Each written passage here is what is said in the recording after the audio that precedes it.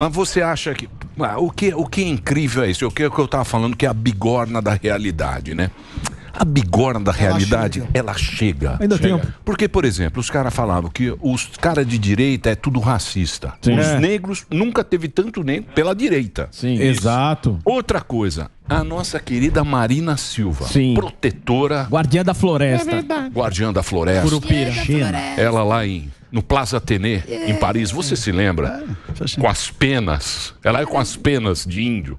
Lá, fica lá no hotel. Ela é tão querida pelo pessoal da Amazônia que ela não Isso. consegue se eleger pelo Acre veio se eleger com o apoio da Neca Setúbal aqui em São Paulo. Esses ela, caras têm que parar de ela foi, saco aqui, meu, então, dá mas é, ela não foi bem votada não. Aqui? É. Teve um terço dos meus É, votos. então. Aliás, foi manchete do Globo, né? Então. É, Salles tem o triplo dos votos de Marina Silva, Silva, símbolo da luta ambiental. Não é símbolo de luta ambiental, Então, mas deixa eu nenhuma. fazer uma pergunta pra você. Olha, é bom. não, ela é símbolo, porra. Não, Ah, lógico que é. é, Tá, é. lógico que é. Símbolo de hipocrisia. Não, não, parece um- Ah, então, ah, discurso então, mas- furado, Não, né? não, mas Versão. pera lá, vamos entender. A gente precisa entender as coisas. Senão a gente fica louco, Salles. Studios. Como é que pode você, porque você foi um cara condenado. Sim. Ninguém quer queimar a Amazônia. Condenado isso, é- tacaram fogo nele. isso é um ponto. Isso, isso é um ponto. Ninguém é a favor Ninguém de é a favor. destruir a É. Amazônia. Ah, vamos destruir. Você nunca viu? Não tem essa bandeira. Nem nós, nem o Bolsonaro, nem ninguém desse Isso, governo. ninguém. Ninguém no nada. mundo quer destruir a natureza, pô. Ninguém no mundo. existe Nossa, essa só um bandeira. imbecil pra achar isso. Como é que você teve tanto voto e ela teve tão pouco voto? Onde é que tá aí o. Onde é que tá o, o, o cara que destruiu? É, onde é que tá essa explicação? Eu acho que a explicação resulta no seguinte, é, decorre do seguinte ponto.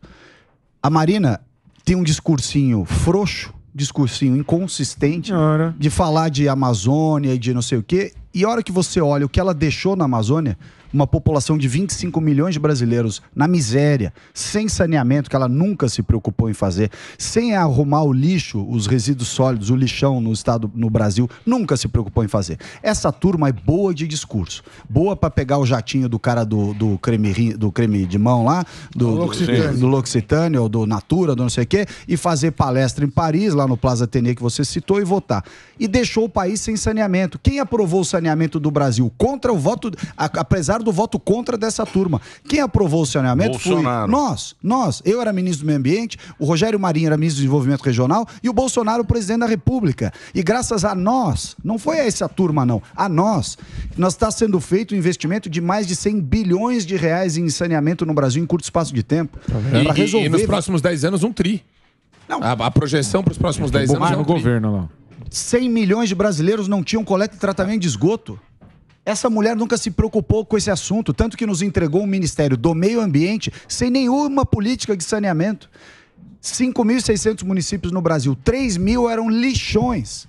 Com gente revirando lixo, mergulha- mergulhado em chorume, com animal morto, mau cheiro, doença. Nunca se preocupou em fazer nada. Quem fez fomos nós. Fui eu, como ministro, que fiz o programa Lixão Zero e reduzi de 3 mil para 2 mil e agora vai reduzindo, porque nós acertamos a mão e o negócio vai se reduzir. Ela nunca fez nada.